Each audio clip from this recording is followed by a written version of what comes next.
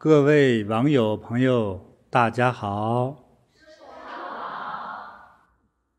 今天我们聊天的话题呢，是关于命运。命运到底是一个什么样的东西？我不知道，因为我觉得太复杂了，而且非常的深奥。今天呢，我想给大家讲一些故事。讲一些历史人物，而且这个命运这个概念呢，不是一堂课能讲完的。你这听一会儿我就解决了命运问题，哪那么容易啊？是要需要多听、多想、多思考啊，才可能在这个大众当中的这个命运之中哈，我们学着总结。哎，这个要有个总结的概念哈。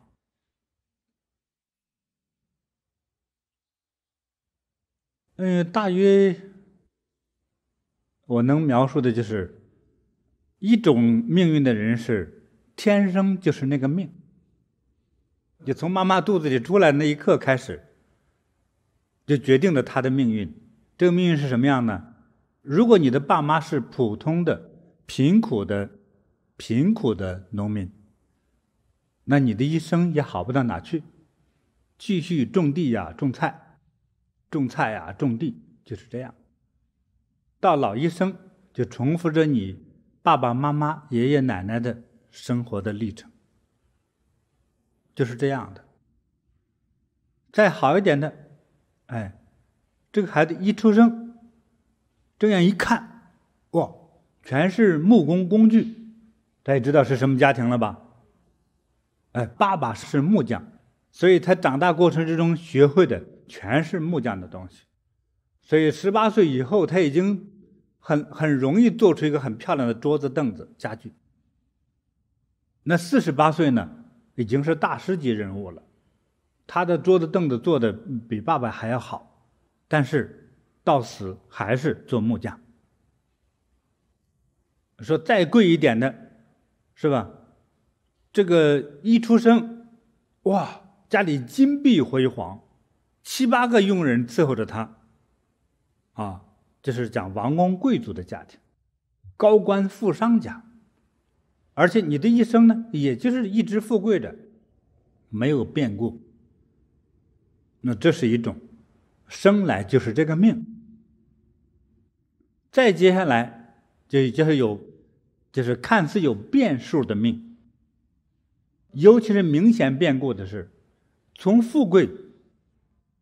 在他的生命之中，一生下来，哇，金碧辉煌。等他随着他整个长大了过程之后，随着他一直到死的这个过程，他想方设法把这个金碧辉煌变成草屋一间，是流浪街头，冻死在街头，或者被人杀掉。对，是这样的命。这听起来很惨哈。好，大家不用太悲伤，说个更好的。哎，一生下来，家里头。好像接生婆都没有，他也不知道怎么出来了。啊，生下来之后就没有穿过一件完整的衣服。十八岁或者二十八岁以后，想吃啥都有，想穿啥都有，比皇帝还富贵。这命运发生了巨大的转折，这种故事大家爱听，对不对？好，我们讲一点这个历史上大家通常都知道的一些人的。一些故事，带有些起伏性的故事。赵匡胤成为宋朝的开国皇帝，好像这个故事有点拐过，有点离奇，是吧？嗯，那个时候是九百六十年吧，公元。公元九百六十年。那那个时候他是这个就是很重要的一个将领，就是后周时的将领。对，这个后周呢，他也是这个皇帝。呃，一代一代往下传嘛。对。然后前面这个老皇帝呢，刚刚驾崩，就是刚刚去世了。对。那么新皇帝呢，上位呢，只有七岁。七岁。七岁一个小皇帝刚刚继位。开始刚开始读小学的那个年龄，七岁呀，很多奶嘴儿他还没扔掉呢，就当皇帝。对。结果呢？所以他肯定也不懂什么这种朝政啊，这一些他只能依赖所有的这些将领和大臣哈，是这样的一个情况。对。那么那个时候呢，辽国呢就经常要入侵他们。嗯然后有一年是大年初一的时候，哎呦，这个辽军又来了，哦冒犯边境，又来要攻打这个后周。嗯好，那赵将军，那你就赶紧快去，呃，攻打这个辽国哈，来来保卫我们的都城。这个赵匡胤呢，就带着呃他的这些军队哈，就去要去迎战，然后走走走走到这个陈桥驿啊、一个驿站呐、嗯那么到这个地方呢，那他的这些就是赵匡胤手下的这一些将领们，大家一起就像起哄一样的，就拥立着他说。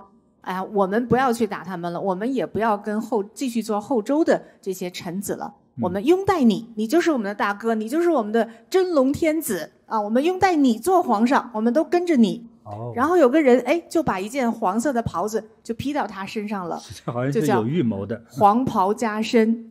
对陈桥兵变，对，那么哎，那他也就这个历史上说不清啊，是他自己心甘情愿，还是说有点被胁迫的？至少他就认了。他认了。那么呢，就转头呢，带着他的这个军队呢，不去打辽国了，反而是回到了后周。那他要取代这个国家。嗯那他到了这个都城的时候，守城的这一些将领跟他也都是好朋友。嗯那人家就城门大开，他就进来了，就要挟小皇上，就是说你退位，你让给我对，啊。那小皇上一个小宝宝呢，对 小皇上那嗯肯定就听从了。吓坏了，就是。哎，就让给他了，他就做了皇上，就从此呢就取国号为宋，就嗯大宋是这样开始的。这就是历史上的北宋的开始。嗯，嗯，对，对，结果呢还不错哈。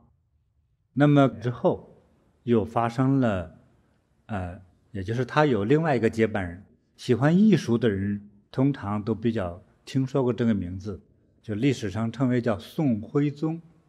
嗯喜欢艺术、喜欢著名陶瓷的，哎，宋徽宗，他是一个什么样的人呢？他听说是一位艺术大师，哎，那么他呢，首先他他的正确的职，他的职位是皇帝，就是大宋国的皇帝。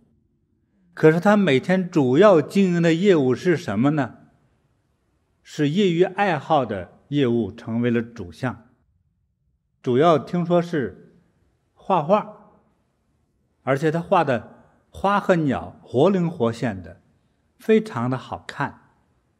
那么他的字，中国人写字不是用毛笔吗？毛笔写字是不容易的，他的字他都开创了他的个人的一个笔体，叫做瘦金体，他还喜欢收藏，还收藏，对，他还是位收藏家。收藏大家。嗯像我们就非常知名的宋代的一个一幅名画叫《清明上河图》哇啊、当时的那个北宋那个年间的那种生活的形态记录的非常非常好。那么这幅画呢，画好了之后呢，哎，这个宋徽宗他就第一个做的收收藏者，哦，而且他还用他的瘦金体的书法在上面亲自题了这个画的名字《清明上河图》。嗯，嗯，那么他还喜欢运动，他还会踢足球。对。那，个宋朝的时候，那个时候叫蹴鞠。啊，反正就是现在这个足球的前身呐。高俅他就是踢足球、踢蹴鞠的这个技术特别高超，哦经常是在街头哈表演踢球。然后他呢就被这个邀请来陪着皇上一起踢球，哇！但是结果因为他踢会踢球，踢得皇帝开心了，还赏识了。还给他了一些兵马元帅呀、嗯。三军司令啊，嗯。等于特别重要的这个职权给他，对，还当官儿，嗯，是高官，是，很有实权的高官。嗯。接下来又发生了让宋徽宗自己做梦也没有想到的事情。有一天，敌军已经不是来抢个东西，是来吞并他的国家。对，这个这个大兵哈，整个逼迫到了皇城的时候，宋徽宗这个辞皇帝职位不干了。啊，让给他的儿子，结果这个外国的军队就把这个父子皇帝全部给抓走了。嗯其实他们走的时候呢，他等于是将这个当时的宋朝的这个政府哈，给消灭了，而且他走的时候，当时带了超过一百名的官，超过一百名的后宫的服务人员加这个宫女，啊，几千名的工匠，还有无数的金银财宝，包括连这个宋徽宗皇帝收藏的这些名字、名画、艺术品，全部一窝端都给弄走了。好，这是中国的历史上，我们也不是说这是喜事还是丑事，这是历史的事实。哎，我们作为一个今天的听众，听完有什么想法？宋徽宗在艺术上的造诣非常高，是历史上少有的艺术型皇帝。在政治上，却昏庸无能，最终一朝沦为阶下囚。成为亡国之君。后世评价宋徽宗：“诸事皆能，独不能为君耳。”好，再接下来呢，我们聊一聊明朝的开国皇帝朱元璋。哦，那朱元璋出生那个时候还是元代哈，元朝。嗯。啊，所以其实还是蛮凶残的。蛮暴虐的啊，是这样，所以那个时候民不聊生。那朱元璋的老家呢是在安徽凤阳那一带哦，啊，那当时呢就是真的是没有吃的，对，所以所以他幼年的时代呢，就是父母真的就是被活活的饿死的哦，是那样子的哦啊，对，还有他的兄长啊，所以他真的也是嗯挺潦倒的，其实是为了吃口饭吧。那个时候，所以他也就出家了。嗯嗯，到了一个嗯庙里面去做和尚。这个庙叫皇觉寺，很好玩哈。皇皇帝的皇，觉悟的觉，皇觉寺出家，就正在他家附近。哎，嗯，那那个时候他的小名儿还叫朱重八，那个时候他不叫朱元璋哈，这叫数字的名字。对对对。啊。那什么朱三八呀？他他爷爷叫朱初一，朱初一 对，然后他哥哥就是朱，呃，重五，然后重六、重七，他是重八。哦，对啊，朱重八他其实也就是跟他的一群小伙伴啊，就是都是些放牛娃。对，哎，都去那个投奔了起义的这些啊将领吧，那个就是对，有点其实。都不是正规军，都是那种农民起义的。农民起义就造反了啊！因为吃不上饭，饿死很多人。嗯，所以有点胆量的人哈，或者有点能力的人就开始召集大家造反。哎，所以等他这个就是投奔了这个所谓起义军的，也离他最近的一位一位大将领，我们都称为叫郭大帅哈。哎，对，到了郭大帅那里去了之后，他什么官职都不是。哎，可是呢。他的天生的这种领导的气质呢，说他村里头早一点跟着郭大帅混的那些小伙子哈，比如说已经现在的官职来说，已经成了连长，一个人管一百多人的这样的将领的时候，大家都会对他很尊重的。这个在军官军队里头，他会抓着这些人去给我倒酒，你帮我洗马，哎，对你光把这鞋给我擦干净。那别的小士兵说：“你不想活了？你知道他是什么人吗？他是连长哎，你还指挥他？”他说：“咋了？”他也不听，我就抽他，我就踹他。哎他就一本正经的这个样子，他也没开玩笑，也没有说他是我老乡，我还怕什么？他不会这么说，他觉得我指挥他是应该的，而且对方也很有意思，明明官职比他高很多，但是就非常配合。哎，那时他也刚改名嘛，郭大帅对他的感觉还是有一种说不出来的亲切和信任感，所以给他一个名字，叫做朱元璋。之后有很多的事情发生之后，就发现这个朱元璋这个小子真是不错，啊，就是有勇有谋，这是真是英雄，对。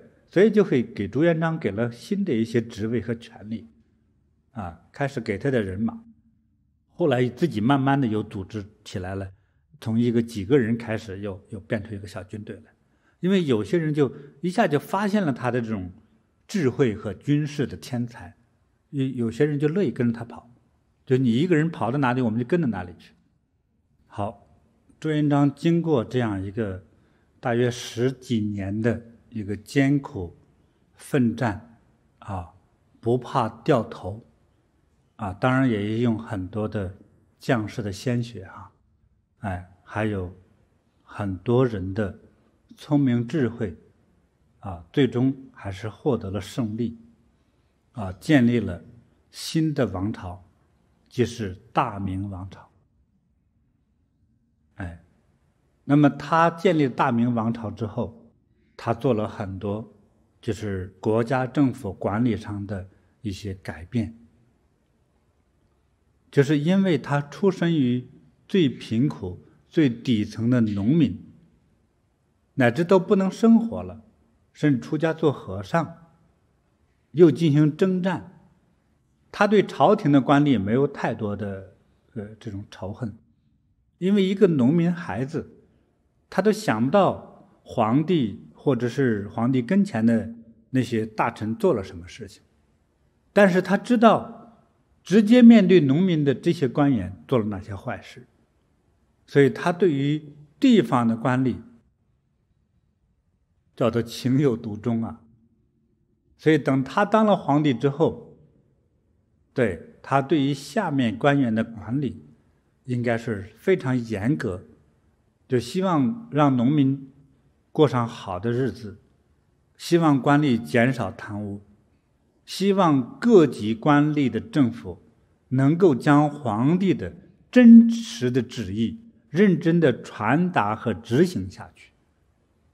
因为很多时候，皇帝和中央的决策，当一旦传到村里的时候，已经都改了，都歪了。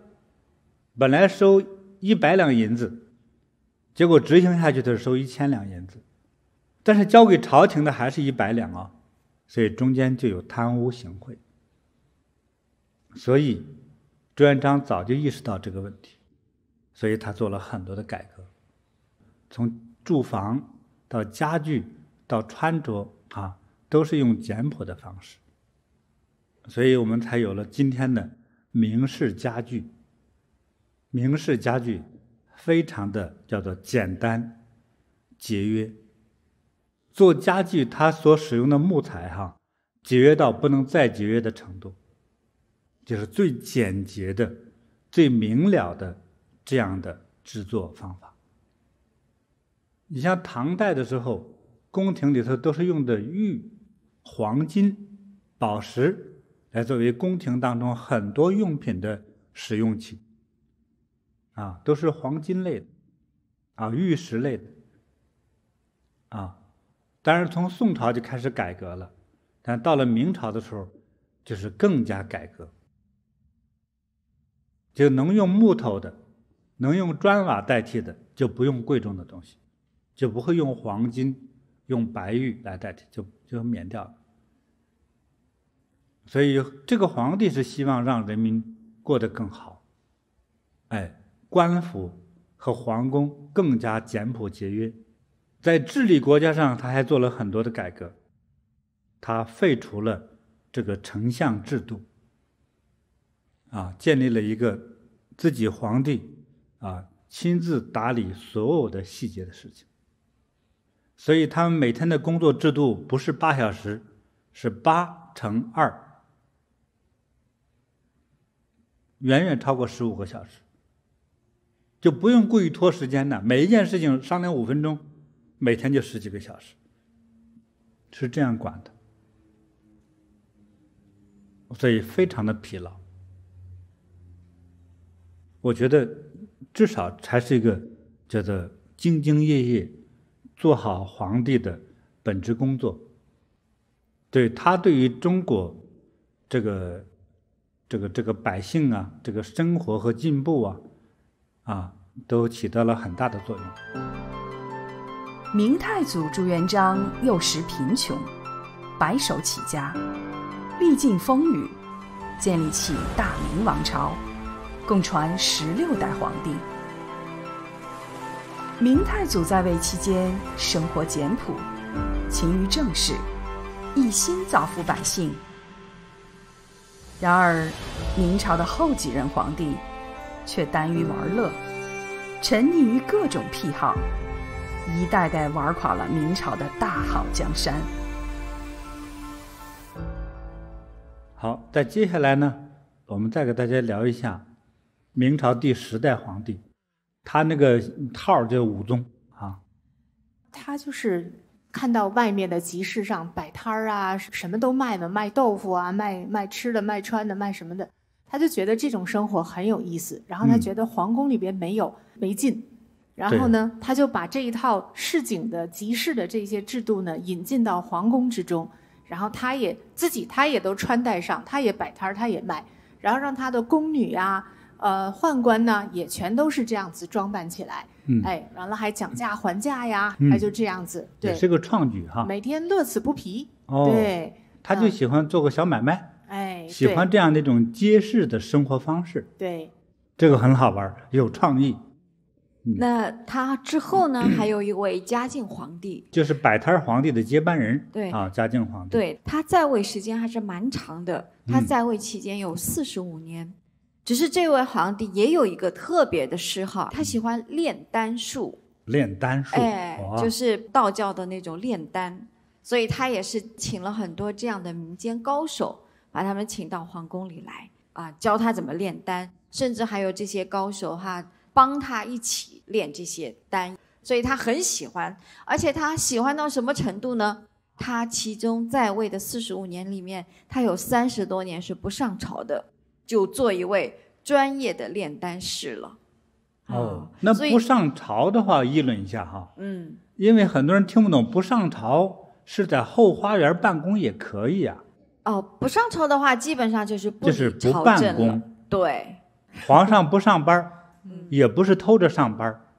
皇上该管理的事情，他一概不管。你就是他会让他的那些臣子们呐，或者他让他下属去管。对，你们去管，你又都由你们来做决定。对，反正这个大印交给你了，你们就去管吧。嗯，比如说看着你比较顺眼，对不对？你帮我管吧，这点事儿还管不了吗？嗯，那我这皇帝干嘛呢？我要炼丹呢。嗯，他当时炼丹的目的是啥呢？他想求得长生不老嘛。其实是神仙，他要做神仙。嗯，所以我要炼丹。嗯，嗯挺好玩的。对，这就是我觉得明朝的皇帝很有创意啊。哎，啊，这个觉得和这个宋朝的那个宋徽宗有的一比哈。啊。啊，二十多年没上过班啊。哦，这等于是他的上班的过程就是退休的过程。哎，好，那我们看看他下一代皇帝又有什么杰作呢？下面还有一位万历皇帝。嗯啊。万历皇帝他是十岁的时候就登基了，也是很年轻的一个小皇帝。他那个时候呢，他就有一位老师啊，就是皇帝的老师叫张居正。张居正呢，就是辅佐他的这些朝政大事啊，对他还是很严格的。这个小皇帝小的时候就不爱读书，但是他喜欢自己写书法。那他的老师其实就跟他讲：“你这样不对啊，你这个书法写的再好，就像那个宋徽宗一样，又有什么用呢？哈，你还是要理朝事啊，等等。”所以老师可能也是管得太严了吧？结果等这个张居正他去世以后呢，这个皇帝就没人管了。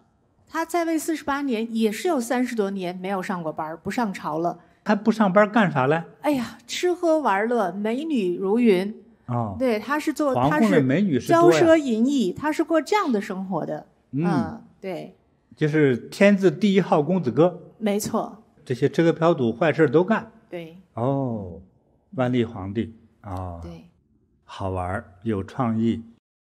那接下来还有接班人吗？对，后面还有，其实有两位他们的子孙，真是也挺让人瞠目结舌的。嗯，那后面的一位皇帝呢是明光宗，哈，明光宗。他这位皇帝就是大家以为哦可能会跟祖上不一样，是不是有所作为呢？结果这位皇帝还是嗯逃不开啊，就是这种。享受生活啊，贪美色的这样的一种感觉。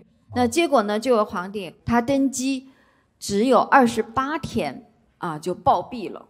嗯，这个确实命有点短了。哎，好，命短这不是他的过错哈，对。那在下面的一位的呃叫天启皇帝哈。啊。哎呦，这位那更奇葩了，他是非常的兢兢业业、非常精进的、废寝忘食的。嗯。但呢，这些的精力不是用在国家的治理上，而是用在做木匠活上。这听起来和前头几个比的还有点靠谱。然后，而且他是一个大的发明家啊。折叠床据说就是这位天启皇帝发明的哦。还有喷泉。喷泉。哎，至少当年他。还用木头做了折叠床和喷泉，那么还有就是啊茶几啊、什么桌子啊这些啊、柜子啊，那就是更那个更更更普遍的了啊。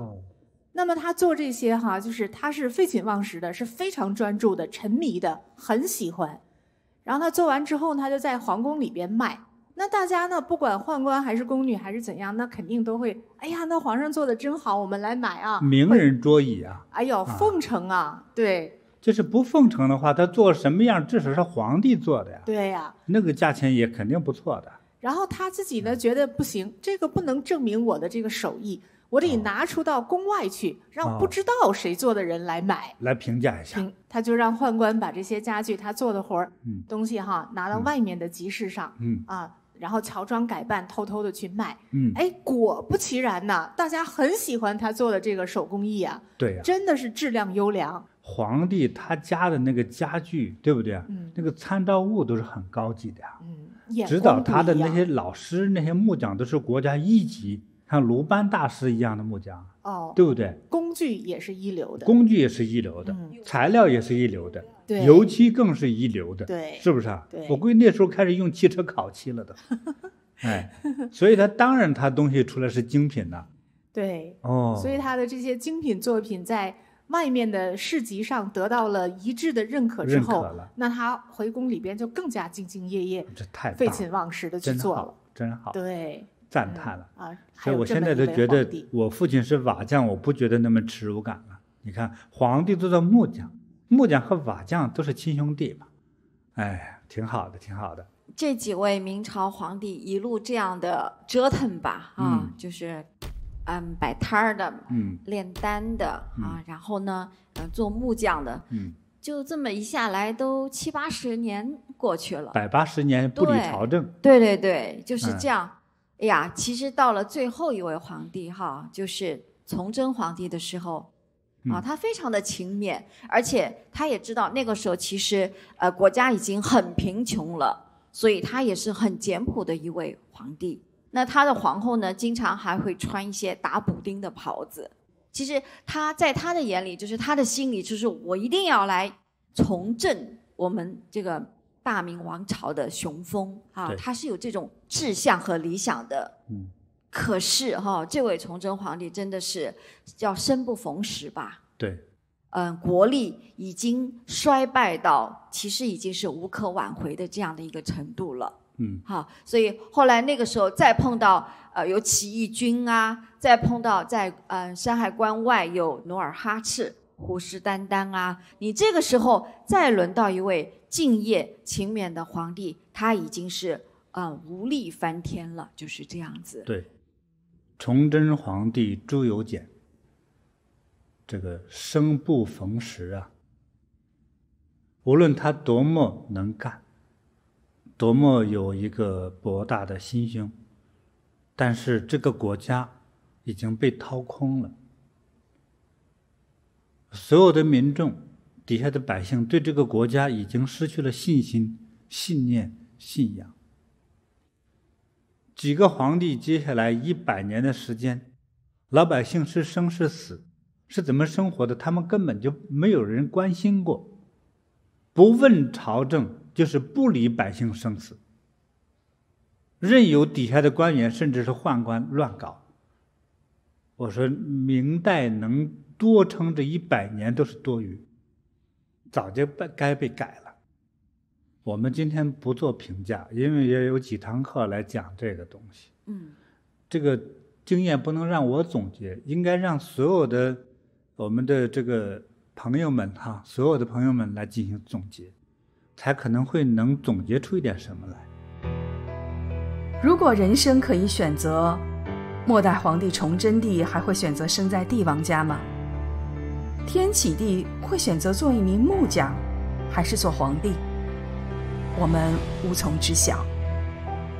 似乎人各有命，命由天定。那么，命运可以改变吗？我们能逃出自己的宿命吗？所以我建议下面呢，再讲另外一位故事，因为曹将军和这个道教一位超级大师陈抟这个老祖的相关的故事。这个是一个很直白的一个命运和被预测了命运和改命的故事啊。在这个，也就是赵匡胤的这个时候哈，他的手下有一位大将叫曹彬啊，曹彬。那么他原来也是后周的将领，那么后来就是跟着赵匡胤一起变成宋朝的名将。他呢，嗯，就是他一周岁的时候，咱不都抓周嘛啊？他那个时候是这个孩子喜欢啥哈？以后的命运，对对对，他就是左手抓了一个呃一个兵器啊，右手抓了一颗印。啊，就封官，大概就是这样的一个命运啊。嗯，然后他后来他真的是作作为一个一员武将哈，一个大将军，东征西战，然后也非常的呃战功显赫，也是这样子。嗯，那么有一天呢，他就碰到了一位赫赫有名的陈抟老祖。那么陈抟老祖看到这个曹彬大将军之后呢，他就说：“哎，你这个呃早年的时候这个官运呢各方面都非常好。”嗯，他说：“但是呢。”可能你晚景不好，那么有一次呢，他就是在打南方的一个城池的时候，哈，他就围住那个城池，他就久久就不去攻占，然后不断的就去跟那个守城的将领就劝降，去谈判。没错，对他说，如果你要是降了的话呢，呃，不但你自己，还有你这一城的兵将百姓都能够得以保全性命，这是多好的一件事情啊！对对。那么那个将领也是迟疑吧，所以他们就是焦灼了很长的时间，到最后还是要快要打下来的时候呢，哎，这个曹彬大将军就跟他的那些副将们就说：“哎呦，我不行了，我生病了啊，不能再打了，我生病了，生病了。”对，那大家都来看望他，大将怎么样啊？你身体怎么样啊？什么的啊？要不要找好的医生给你配药吃啊？哈，那曹彬这个将军就想说：“我这个病啊。”哎呀，吃几副药也没什么好转，这不顶用的。嗯，啊，那怎么样才能好呢？大家很着急呀。他就说：“是这样的，就是你们如果想让我的病好呢，你们就要发一个誓啊，就是我们攻到这个城里边的之后呢，都不可乱杀无辜啊，一个人都不能乱杀的啊。那如果这样的话，我这个病就会好。那他的手下呢，都哦好，那没问题，大将我们都听你的，就是。”插上香敬天，然后大家一起发誓啊，就这样子许愿啊。然后第二天，哎呀，他说我病好多了，可以了。第三天攻城，哎，和平就解决了。果真是没有一个乱杀无辜的这样的秋毫无犯。嗯，秋毫无犯。他进城以以后的话，老百姓都是拿着食物、拿着酒、拿着水来欢迎他们，来感恩他们。对，这样看你没有进来屠杀，就是这个在古代作战的时候哈。通常难打的呢，就是你们有一有一群人是守城的，已经有个城，这个城呢，通常用砖或者石头去垒的，非常的坚固，而且不容易爬上去，所以通常非常笔直，而且摸不到砖缝，摸到砖缝的话，敌人就爬上来了，而且这个城下面呢，通常有一条小河，叫护城河，就是多一层水的保护，在。就大有大城墙，城墙上面呢超过两米到三米宽的道，这个道和城里面通着，哎，这个道这个上头呢会累积着很多保护这个城市的一些可以作为武器的东西，比如说一段一段的大木头，说敌人往上爬，我就扔木头就砸死你，甚至是油啊，滚油滚木雷石，对，就是弓箭啊，或者是大石头。都用，反正能够击退敌人的这些东西，在那个城墙里头的步道上都放满了。对，而且呢，这些古代的城墙，中国、外国都一样哈，都是叫女儿墙。哎，这样扒下来一块旁边再立起来，这样就是一个槽一个槽，像像那个马的牙齿一样。嗯，也叫马牙齿墙。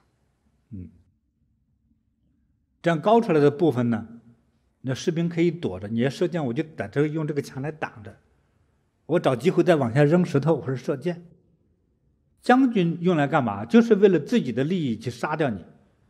有时候就写一封信，拿个箭当着射上去，或者找人谈判，说限你三天打开城门来投降，否则的话，我要带军杀进去，我将会屠城。屠城是什么意思啊？这个城里所有的人全杀掉，无论男女老少，无论是百姓还是官宦，全部杀光。因为这是个威胁啊，大家都怕呀。说我大不了我自己死就好了，我作为官员。可是你杀我的百姓干嘛呢？就不去给官员形成压力嘛。所以很多人说：“哎呀，我还是保护我这个城里的百姓的生命，所以我投降算了。”这也是一种心理战术。